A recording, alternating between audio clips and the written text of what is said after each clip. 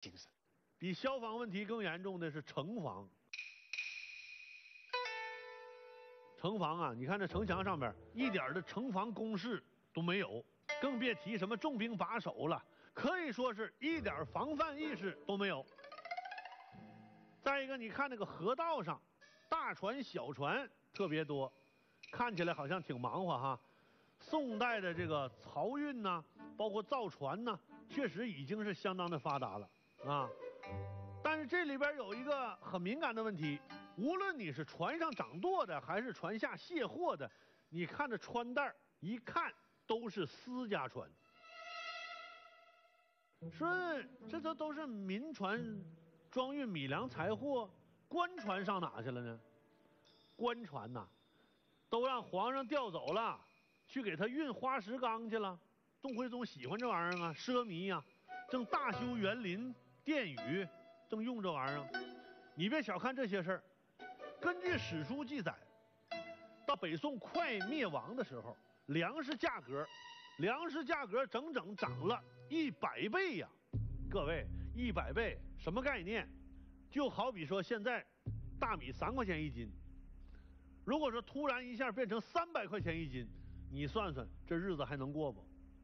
再加上北宋末年，内有宋江、方腊被逼起义，外有辽国、西夏。虎视眈眈，可以说大宋江山那是风雨飘摇啊。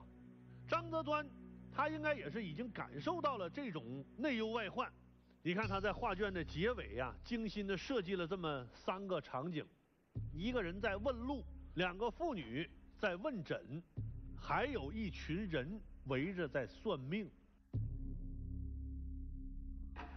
问路、问诊、问命。看似平常的这么一个场景，被画家精妙地安排在了结尾，这个让人深思。我想啊，这是所有的优秀的文学作品、艺术品一个共同的魅力，就是它会给人留下开阔的想象空间和解读空间。宋徽宗昭告天下，希望大家能够对他的施政提出意见，所以。张择端在这样的背景下呢，他就敢于面对当时现实生活中种种出现的问题，逐一逐项的在画中表现了出来。徽宗对这幅作品呢，可以说内心是很矛盾的。首先，这幅画的艺术技巧相当高，符合宋徽宗的审美要求。宋徽宗他笃信道教，他认为这个绘画反映祥瑞吉祥之物。反映这个国家的好的兆头。